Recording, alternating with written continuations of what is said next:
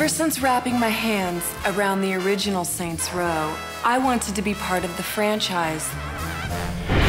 So, when I saw that the developer was looking for a new producer to complete the game, I knew it was the perfect opportunity for me. After all, I'm the best finisher in the business. So, we developed a game with limitless possibilities, starting with our expansive customization options. You, you're next. Wait, what? Intense, over the top combat.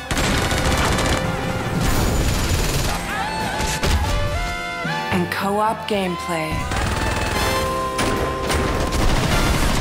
Over the next few weeks, I'll be showing you all about how we've designed Saints Row 2 from the ground up.